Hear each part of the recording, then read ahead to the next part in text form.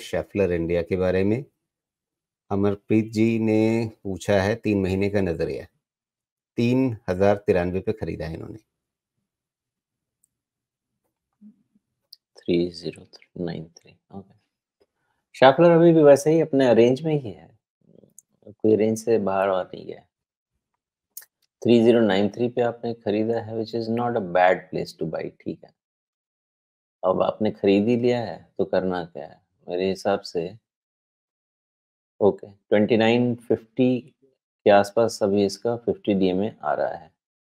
And other supports आ रहे हैं करीब twenty nine fifty twenty nine fifty आपके लिए की मार्कर है। उसके ऊपर जब तक रहता है all hopes on for three thousand three hundred fifty जी।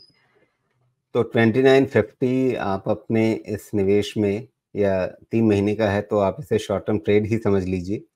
आप अपने शॉर्ट टर्म ट्रेड में टू नाइन फाइव ज़ीरो इस नज़र, इस लेवल पे ज़रूर नज़र रखिए। इसके नीचे जाने पर आपके लिए दिक्कत हो जाएगी। ये आपको ध्यान रखना है।